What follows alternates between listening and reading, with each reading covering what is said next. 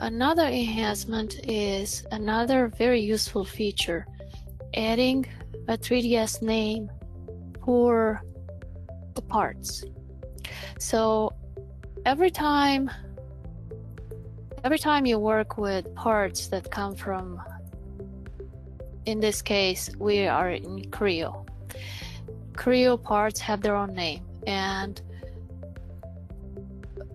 in this case they're they're named very nicely head lantern and back bracket but most of the time they're numbers and it's very difficult for users to figure out what they want to call them so what we added we added i'm going to double click on the bracket.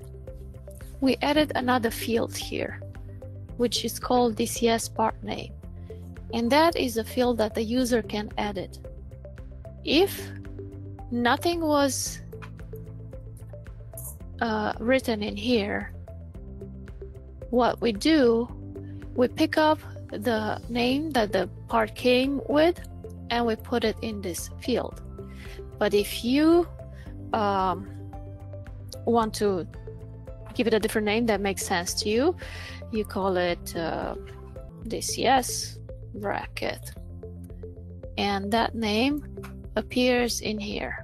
Now, how do they appear in here? It's based on what settings we have in the alias display, which are part of preferences. So I'm going to open preferences and I'm going to go to my alias display and I'm looking for part customize. Checking this box, it lets you modify it and I'm going to go to the, the little three dots here and open this dialog box. What is this for?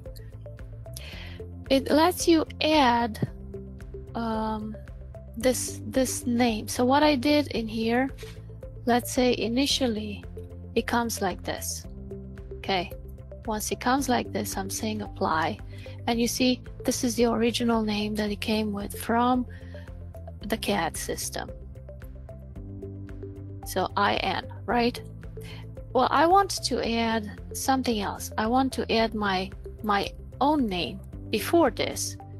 So I'm going to click here. I'm going to check mark the DN so it adds it there and I can put something, a space between them or not. I like underscores to keep it a little bit separate. Once I say OK here and I say apply, my names appear. This one was already changed by me. So that's why it appears. But like I said before, if you don't have a name already um, already typed in here of your own choosing, it it keeps the name from the CAD.